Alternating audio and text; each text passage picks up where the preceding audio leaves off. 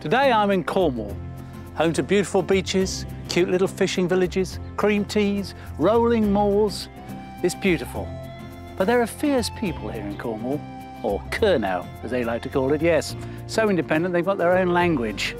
They've been at war with England for centuries and then the Romans before them, so I better watch my step.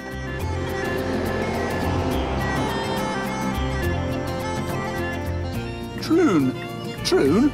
I thought that was in Scotland. Must be another one. Cornwall is the UK's most southwesterly county. It's almost completely surrounded by the sea, so it's no surprise that fish has always been an important part of the diet. In fact, Cornish sardines are so special, they've even been granted protected status. Mining for tin was a key industry here. At its peak, there were up to a thousand mines, but the collapse in the price of tin during the last century started the decline. The last tin mine closed here in 1998, but the landscape still bears the marks of a once thriving industry. Today, Cornwall makes a lot of its money from tourism, and with its breathtaking scenery and fantastic beaches, it's certainly always been high up on my holiday list. St Michael's Mount over there. That looks really magical. I love pasties. Big ones, small ones, cheese ones, meat ones. I'll even eat those little fancy ones with beans and chorizo. But the one that really floats my boat is the original Cornish pasty. That's the Cornish flag, by the way.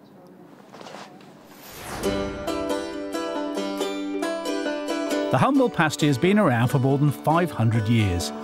Following the Industrial Revolution at the end of the 18th century, it officially became known as the Cornish pasty. Tin miners were very fond of them because they were the ultimate handheld convenience food. Some say they held them by the crimped edge, which was then thrown away to avoid getting arsenic poison from their fingers. But many old photographs show them wrapped in bags or muslin and eaten from end to end. The Cornish pasty was awarded protected status in February 2011, but this hasn't gone down well with everyone. Anne Muller of Anne's Pasties in Lizard is not happy with what the rules say is a true Cornish pasty. Intrigued? Yeah, me too.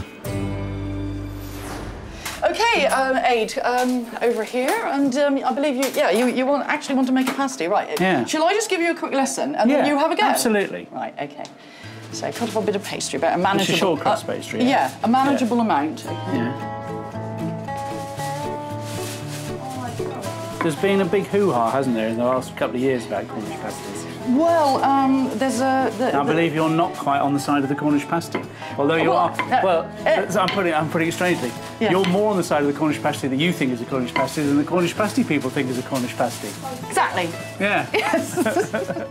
Did you follow that? Oh dear! It's, There's the, been- the, the, the guys who have gone for the PGI, which is Yeah. like the status, like champagne and um, Newcastle brown ale, Yeah, brown like- ale, that sort of thing. Um, they've uh, they've defined the pasty as only being a side crimp, and uh, that's kind of pasty fascism, really, because Well, you mean like you mean in the shape of a D with a crimp round the side? yeah. exactly, and uh, that's just out, as outlawing my pasty. Because you And- crimp on top. Yes, and I You have. rebel.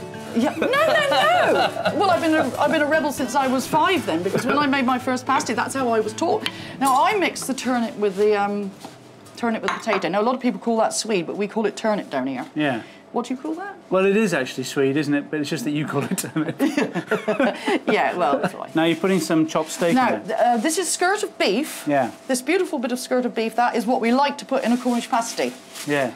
Um, so, yeah, um, And I believe the um, the new standardised Cornish pasty that has ground beef in it. well, they're allowing mince, which is not on. Yeah. It's not on. Is Oh, it? right. Is it, Janet? Is it? Is it, Janet? Is it? Is it on? Disgusting. Exactly. It's Is it? disgusting. Marianne, what do you think? That's rubbish. That's There. Rubbish. There we are. Are you both from Cornwall? Yes. Yes, I thought Yes. It's rubbish. Now, a little bit of salt and pepper, but not too much. Yeah. Just as if you're trying to get a speck deep of salt. Yeah. That's, that's how I sort of think about Okay. it. Okay, now, bit of potato on the top. Yeah. Okay. Right, and then just a little bit of salt on the top. Not too much. Everything cooks inside the pasty. Yes, this is- You don't put anything cooked inside. No. Yeah. Absolutely So right. the whole thing goes in the oven You're raw. right. No, this is the top crimp. I love the amount of the amount you get into it. I know, it's like a stew wrapped up in Yeah. pastry, isn't it? You bring the edge towards you, over towards you. But I see. Yes.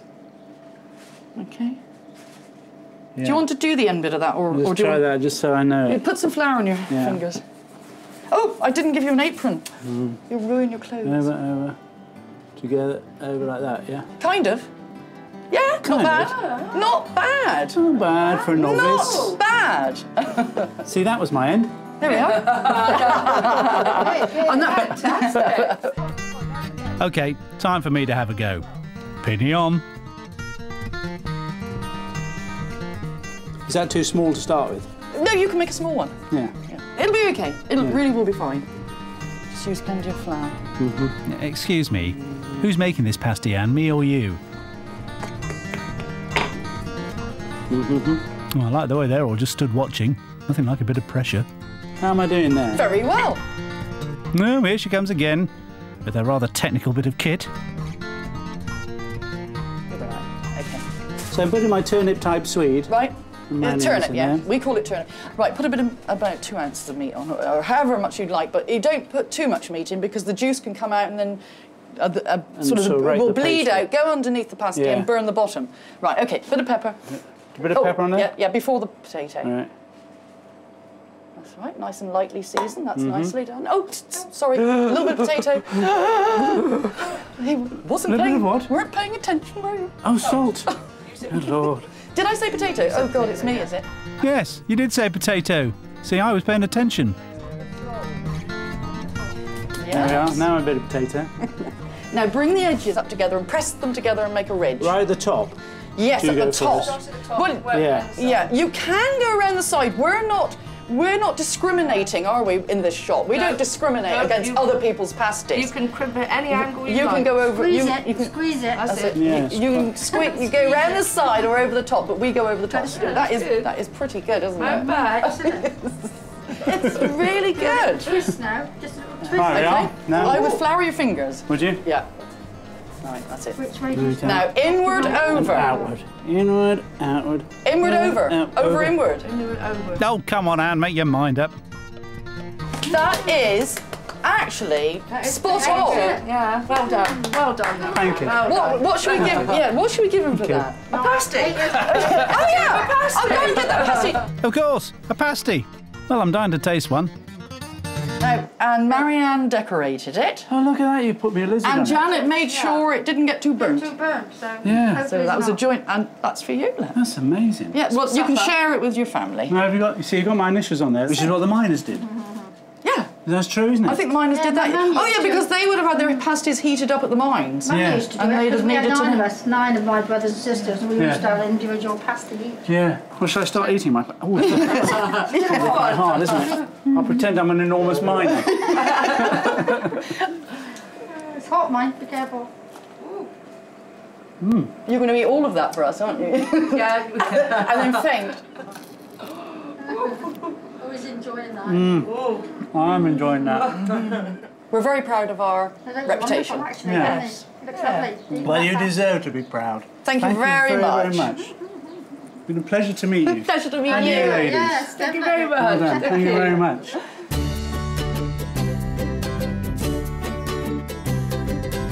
If you hold them fairly high. Marvellous. Thank you very much. Look at that. Wonderful. Isn't it a thing of beauty? Hasn't come out yet.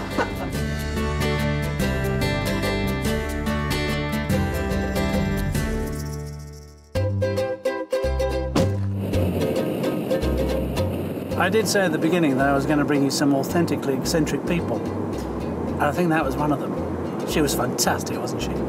What I love about her is she's not bothered about designated geographical indicators and all that stuff. She just wants to make a really nice pasty. And it's a Cornish pasty because it's made in Cornwall, not because it's crimped on the top or crimped round the edge.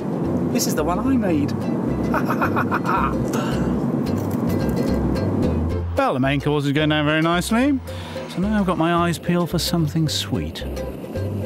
Rosmergy cream teas. That'll be me.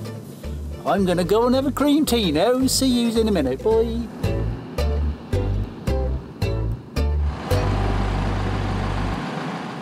Hello. Hello, You Jane? I am. I'm Ed. Nice to meet you. Nice to meet you. Now, here we are. We've got a Cornish cream tea. What exactly is a Cornish cream tea to the uninitiated? Um, it involves drinking tea, eating scones, Eating and scones. clotted cream and strawberry jam traditionally. Yeah. What's clotted cream?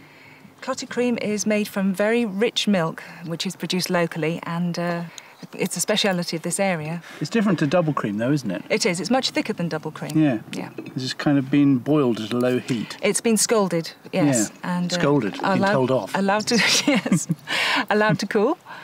And now, I put the cream on first. Is that a. No, that's completely wrong here because we serve the scones warm, and uh, and we like the sensation of warm scone and cold cream in your mouth at the same time. All right. If you put it on first, it melts into the scone. Ah, no, so and it's I've not done it traditional either. Oh, have I got it the wrong way around for Cornwall? You have. You'll have Is to it- do the other half the other way around. Yeah. Well, I'm going to give it a go. It's fairly well loaded. It is.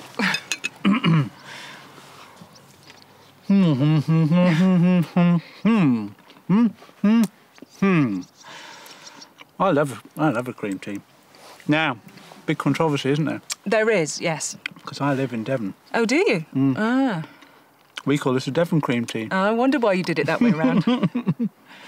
What's the difference? well, Is there a difference? Not really. It's just in days gone by, um, cream was more plentiful than jam, and jam was seasonal and was a treat.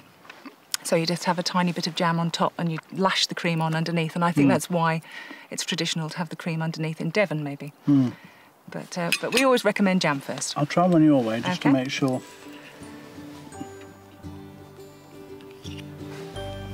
Ah, it's a healthy, generous portion of cream for my arteries. Uh, well, most people who visit us are on holiday, so Yeah. it's, so it's a treat. No, it wouldn't do to eat it every day, I guess.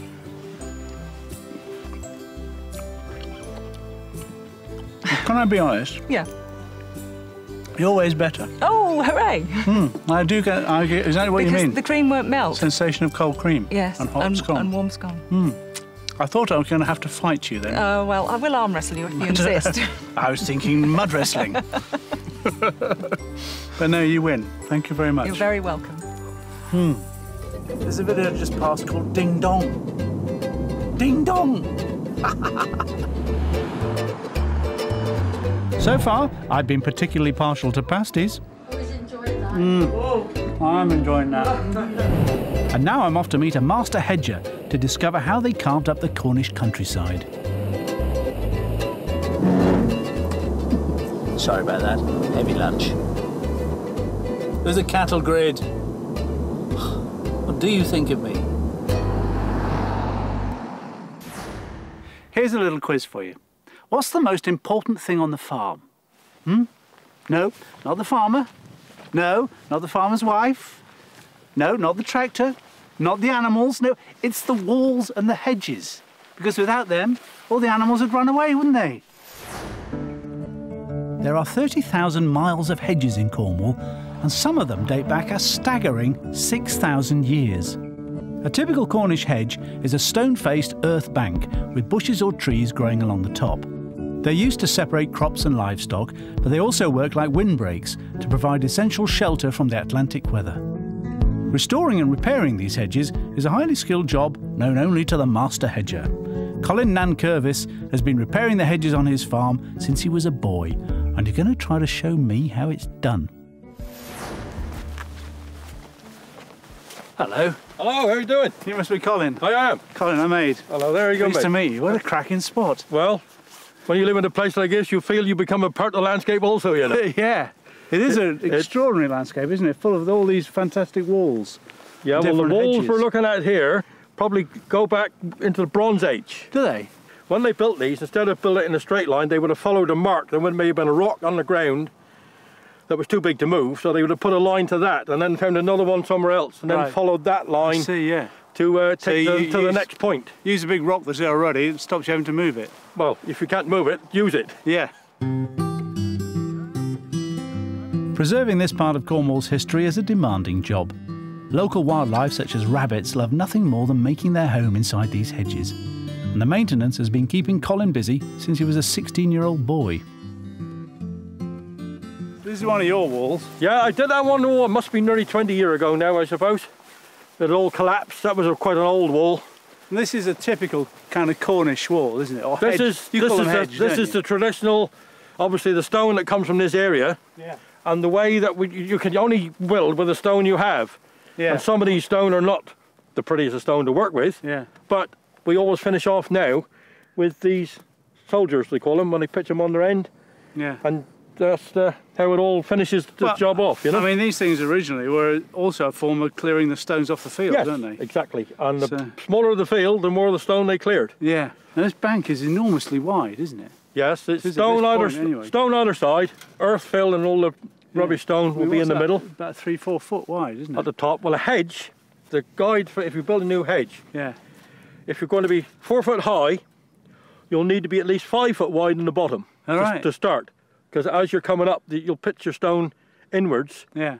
and when you get to a certain height, you've still got a reasonable width with your height. Yeah. Because the idea is not to build an enormously high thing, it's to grow something with earth in the middle that Yep. you can then grow a, an actual real vegetation will go on it, yeah. But the problem is because I keep so many sheep, like They- they keep- they compete with everything. Do they?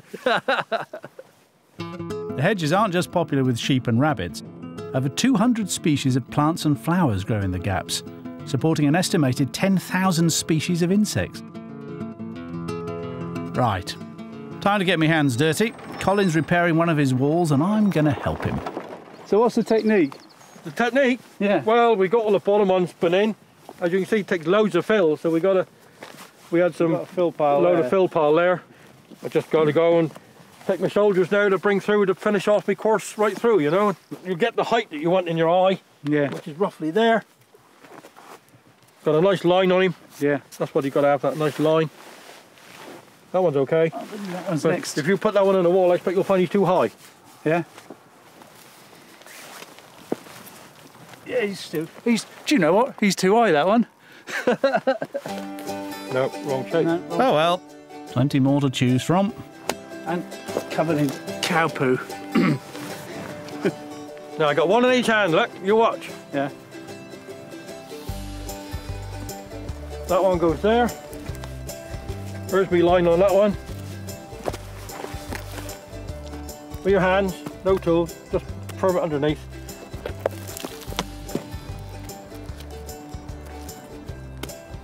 And there's your line.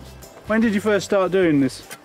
Left school when I was 16, wouldn't go to college, wouldn't be told what to do by people. Yeah. Left school at 16, went to work for a neighbour, and there was an old fellow called Alec Martins. Worked on the farm where I went to work first. Yeah.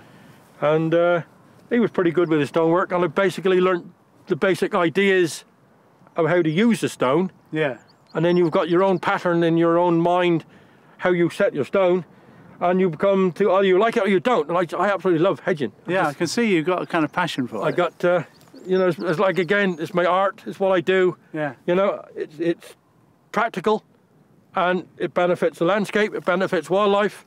And it's a boundary to help do farming, which is the other objective, which earns my living. Yeah. Wonder if I could grow to love hedging as much as Colin does. I Haven't made a very good start, but I am hopeful. See, these are stones you picked up, aren't That they? was that. No, that Yeah. was that was one of yours. No, this one's wrong. with this, one's wrong way this, round. Look. This one's one of mine, though. Yeah. Beautiful size. Beautiful Size is right, but you had it on the wrong way round. Yeah. Uh, he doesn't like it. Then does he? Nah, a bit too big, isn't it? Too big. He'll, he'll work in somewhere else. He'll be fine. Yeah. In another place. Yeah, still not doing very well. Wonder what Colin's secret is.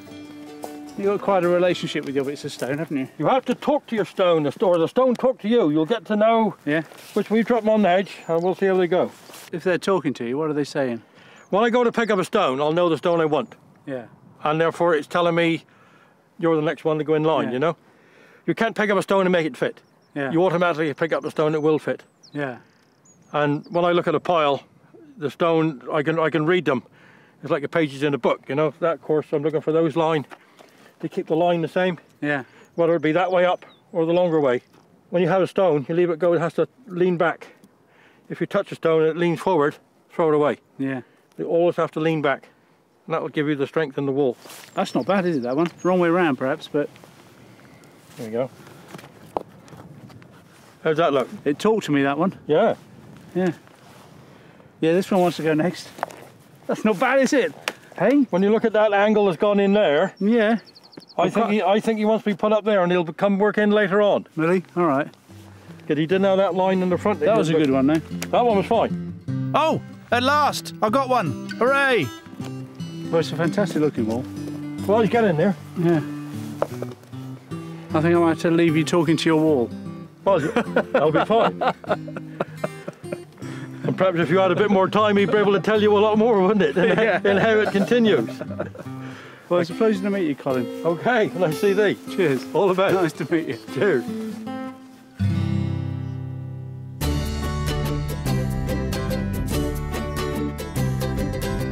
Edge. That's cracking, actually. Great landscape behind, isn't it?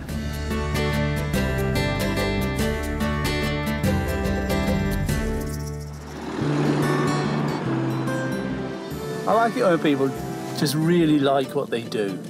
I mean, farming's hard graft.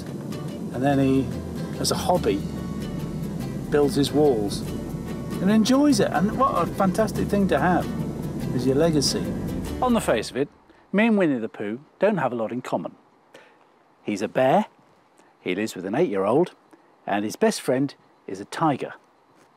But what we do have in common is we both like honey.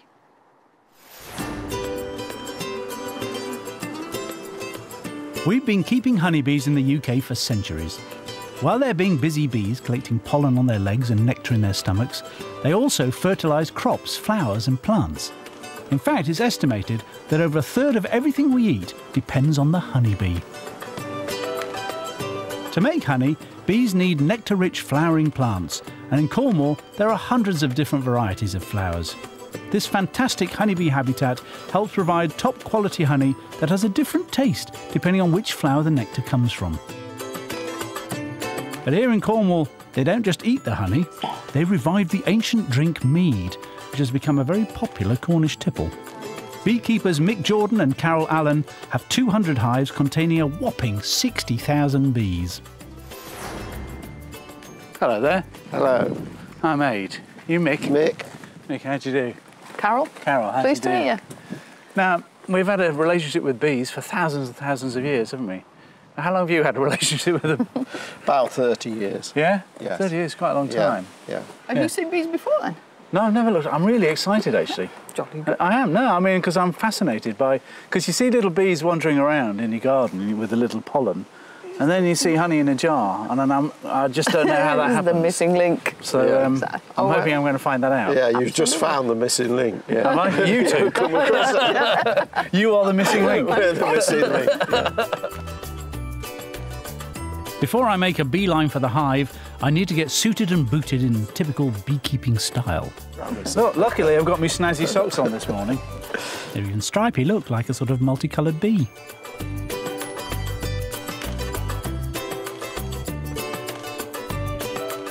Mick prepares the smoker.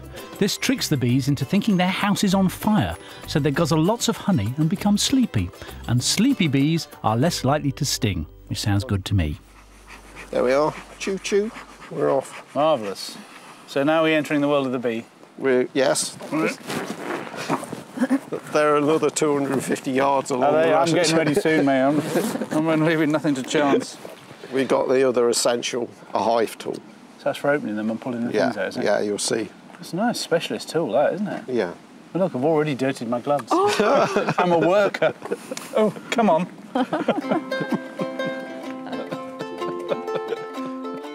Mick and Carol have 200 hives spread over the southern half of Cornwall.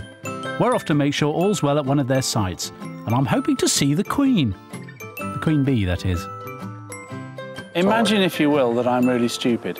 I know it's difficult. Nice, very uh, uh, but uh, in here, there's different kinds of bees, aren't there? Yeah, There are three castes. Yeah. There's the there's the queen, there's the worker bee, which are infertile females, Yeah. and then there's drones, which you might have a few hundred in a colony, a couple of hundred, What and do they're the drones do? males. They're the males. What, what are they doing? Are they, Stooging around, eating honey, and, and having a generally nice they're having a really good life. Yeah, Because yeah, they're, just, they're, just the males. impregnating the, Yes, the queen bee. yes. So once. this is like a perfect society, excuse It me. is, yeah, yeah. For men. Yes, except that, that you die when you uh, mate with the queen. Right. Actually, So on, it's on one mating. or- strike and you, yes, All one right. strike and you're out. Right. Do you know what? I'd still go for that. right, shall we um, see whether we've got any honey? Is, Yeah. that, is that what we do next? The worker bees collect pollen and nectar from the flowers. The pollen collected on their legs is pure protein, which they eat. The nectar is stored in their stomachs and mixed with an enzyme that turns it into honey. And back at the hive, the nectar is regurgitated into the honeycomb.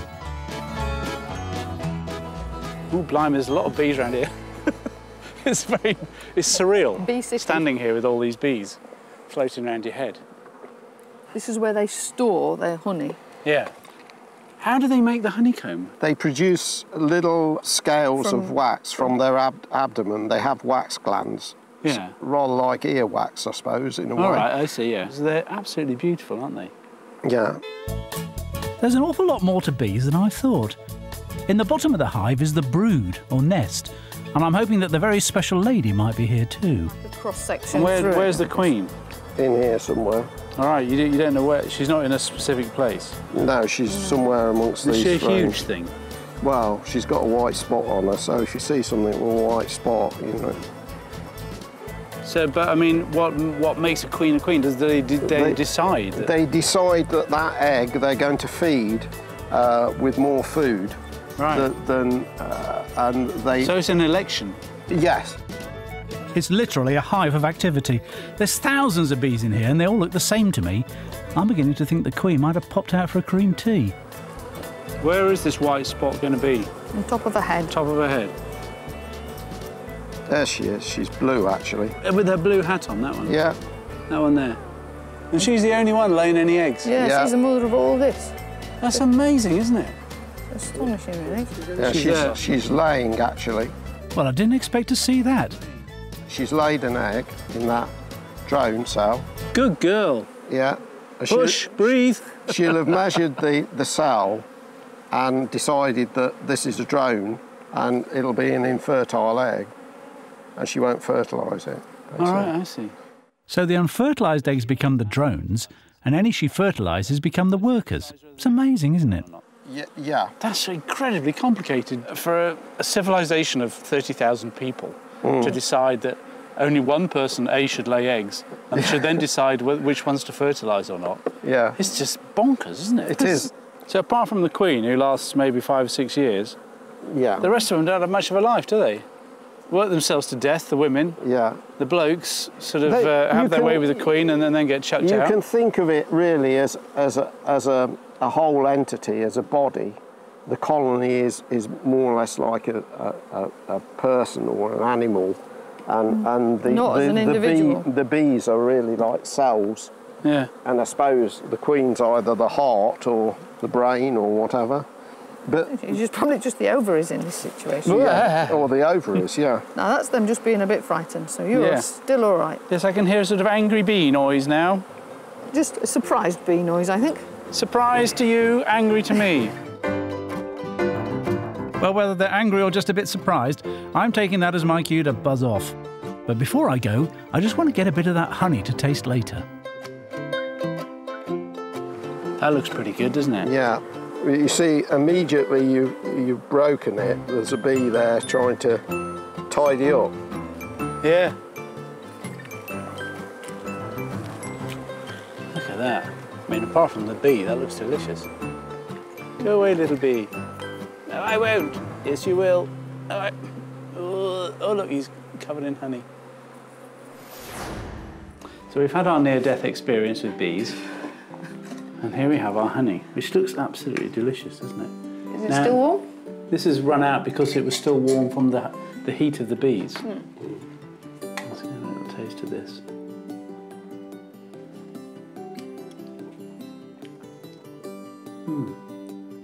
Going to say it's like nectar, but I suppose it is. Yeah. Really? Yeah. It is bees' nectar. It well, it's is. regurgitated bees' nectar. Yes, and, and it's been processed by the bees. They've reduced the water content so that it, it's safe for them to store. Hmm. it won't ferment. I could eat all of that. It's really delicious.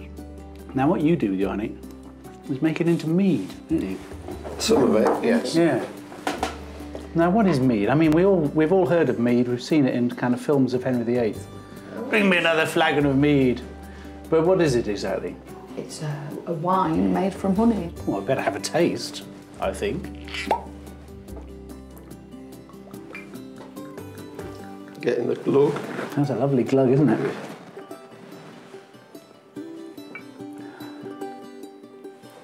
I have to say, I was slightly dreading tasting that because I thought it was going to be horrible. Well, not horrible. I thought it was going to be massively sweet and kind of sugary, and uh, but It's about pudding wine, dessert Yeah. wine.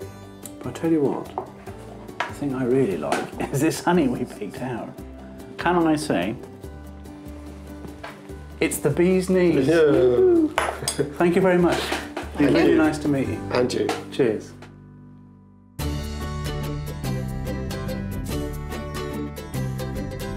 Right, now if you could hold your things up a little, quite fakely high, so I can get.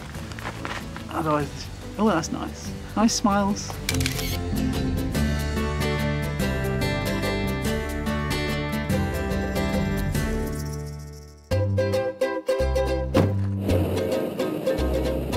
You know, the interesting thing about um, the phrase the bee's knees is that um, the bee doesn't have any knees. No. I think that's probably why they call it the bee's knees, because it's so special it almost doesn't exist. Kind of it doesn't exist. Next stop, Newlyn, famous for sardines, once known as pilchards. But it's not the fish I'm after today. Good morning. Good morning.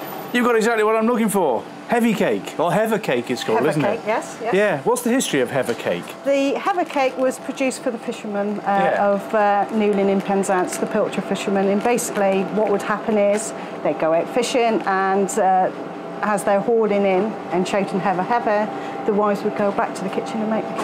All right, I see. And it was this cry of hevva, hevva that gave the cake its name. Is it tasty? Try a It is. Fantastic. Delicious, isn't it? It is. Yeah. Very nice. Is it very popular? It, it is proving to be popular yet Uh, again. So I've never heard of it before. Uh, it's, it's a trend that died away for a little while, but Yeah. lots of holiday makers are coming in and Yeah. purchasing it. It smells gorgeous in here, isn't it? Yeah, eau de pastel. Oh, the pastel. Very good. Can I take a piece? Yes, you can. Thank you very much. Go for it. Take one of these. Thank you, bye. Bye. got away without paying. Here in Cornwall, there's a very strong tradition of brass bands linked to the once enormous tin mining industry that used to be here. Well, there's no tin anymore, but there's lots of brass in them there hills. The Camborne Town Band.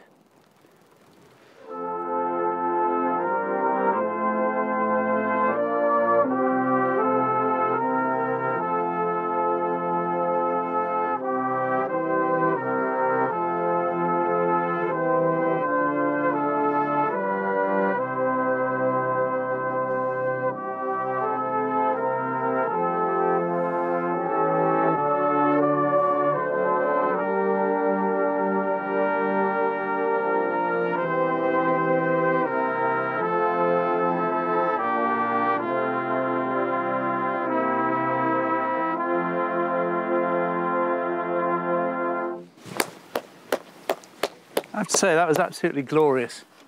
Puts the hairs up on the back of your neck, doesn't it? What was that tune? Pole Dice it's called. Is, is, that, Old Ice. is that a hymn? Yes, it is a hymn. Yes, Yeah. by a, a Cornish Cornish composer. Um, it's named after uh, one of the one of the mines. All right, I see you've got an enormous cup was, down That there. was about um, about a month ago. Shall I bring it forward? Yes, yeah. Oh, it comes to bits. Yeah, that's the royal trophy. And what's that for? Um, Blimey, you've won it a few times, haven't you? Yeah, it's the west You of let, England. you let the St Austell band in once in 2008. you slackers. Yeah, so every year in June um, in uh, a town called Bugle. Every Yeah. year the band takes part in the competition. Marvellous. Um, and the, the winning band of the top section wins that cup. Well, you played me a song, and I'm going to go and cook you a bit of tea. All right? Thank you. Hopefully. Right, today I'm going to make something called stargazy pie. I'm going to start with a little bit of butter.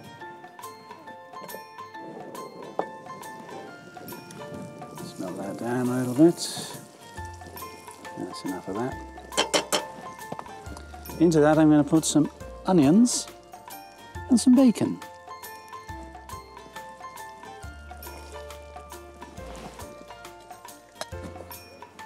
While that's sweating, I shall chop my eggs up.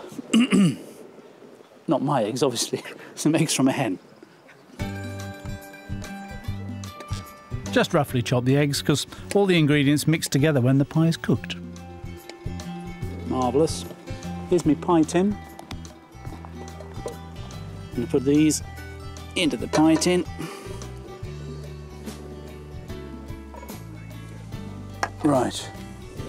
I think those are sweated down enough. I like making traditional dishes that you don't really see on menus anymore. I don't know why more people don't make this. I mean, it's not difficult, is it? And I'm cooking it in a field. That's looking quite mixed up. Now I'm going to put some of me sardines or pilchards. Now it depends where you are in Europe, what, what you call these. They've um, been famous for their pilchard fishing in Cornwall for hundreds of years. But recently they decided to rename them the Cornish sardine. The tradition behind this dish is that a guy called Tom Bawcock, uh, who lived in Mousehole, was a fisherman. And Mousehole was a little fishing village, and they went through a particularly bad series of storms, and uh, no one could catch any fish. And uh, Tom Bawcock was a single man, and he went out on his own in a raging storm to catch some fish for the village. And he went out and nearly died, um, but managed it. And when he got home, he gave his entire catch to the village, and they celebrated by making this pie.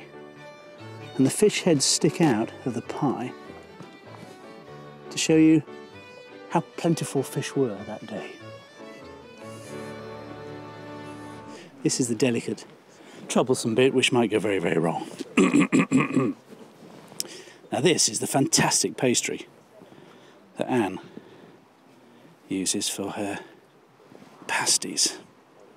Oh, look at this, this is going to work a treat. He said before he'd actually finished it. What an idiot. Lovely elastic pastry. And then, the moment of truth. Ooh, ooh, come on, little fishy. There. Looking into the stars. Don't worry if you're not catching all of this. There'll be recipe details a bit later on. That's fantastic, isn't it? Look at that. Looks really cute. It's like it's just coming out of a duvet. Come on, little fish. Don't let me down. You're the last one. Nice. Well done, sir. Give it a bit of a wash with the egg. There we are. Ladies and gentlemen, I give you Stargazy pie into the oven for 25 minutes. Here it goes.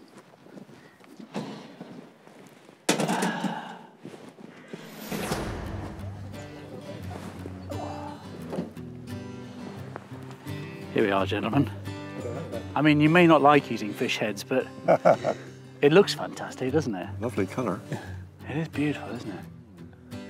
Seems a pity to eat it, but we're going to have a, gonna have a try. head or not? No head. Marcus and Kevin look a bit suspicious of my pie, but I'm hoping it tastes as good as it looks. It is. Um, it is on the fishy side It is. because um, because you're very famous for your pilchards down here, or sardines as you call them now. yeah, that's Yeah. right. Quite nice if you get it. Yeah, very nice. very nice. If you get everything together, it's quite nice, isn't it? Is there anything other than pilchards here? Then? There's egg in there and bacon. Bacon and mushrooms and No mushrooms in mine. I didn't put any in. To find out what I did put in, Here's a recap.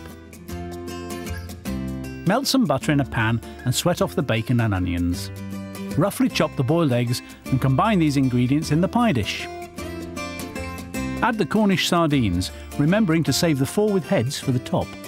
Cover with pastry. I got mine from Anne's Pasties, but if you haven't got time for a trip to Lizard, any short crust pastry will do. Poke the four sardine heads through and brush the top with beaten egg. Bake in the oven for 25 minutes at 200 degrees Celsius, gas mark 6. If you want more details of what you've seen in today's show, you can go to itv.com slash food. And there you have it, a culinary Cornish delight, stargazy pie. What else have you got in your repertoire? What else can you play for us? We've got this like, like Camborne Worthies that, um, that we play at Trevithick Day. Mm. Is that what you're going to play well, for tonight? Trevithick Day, yeah, it is. It's mm. a celebration of Richard Trevithick, who invented the um, steam engine, which, which powered many of the mine's pumps. And uh, they, have, they have about 30 steam engines that are there, and yeah. they go through the town. Right make a mess of the tarmac and the white lines. yeah, the band play, the band play Trevithick Day March, and the steam steam rails all behind the band. And, and whenever they pass, there's the Trevithick statue in Camborne. Yeah, the old hoot as they go past. Fantastic. It's, it's yeah, quite a thing. Mm. Oh, well, will you play it for us? Mm. Yeah, of course. Fantastic.